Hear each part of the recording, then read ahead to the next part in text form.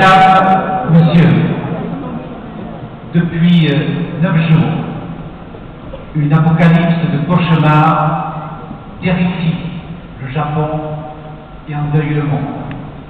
L'homme est ainsi confronté à la nature, mais aussi à sa propre création. Au nom de la Fédération française de gymnastique, accompagnée du président de la Fédération internationale de gymnastique, au nom de tous les gymnastes solidaires ici présents, je tiens à adresser nos très sincères condoléances à tout le peuple japonais. L'ordre des choses a fait plier le génie des hommes. En ce moment, nous sommes tous, les Japonais, frappés par ce qui les dépasse.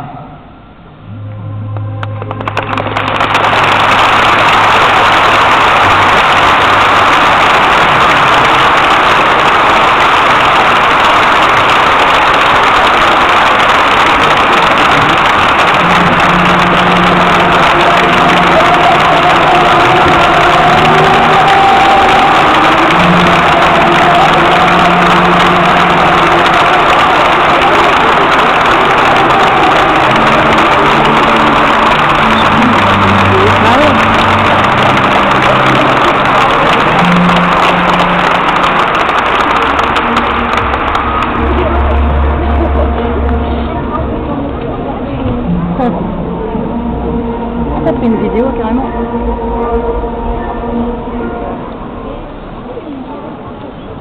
C'est mouvant. Hein? Ah.